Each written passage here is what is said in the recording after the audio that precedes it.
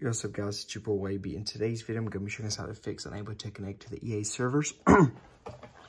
EA Sports 25, uh, EFC 25. So some things you can do is try closing your app, um, try to uh, restart your console, and also you can try restarting your router, like unplug your router, wait like a minute or five minutes, and then plug everything back in and see if that works. If you're on wireless connection, you can try move your console and your router, you know, closer together so not far away, or you can get like a Wi-Fi booster or extender.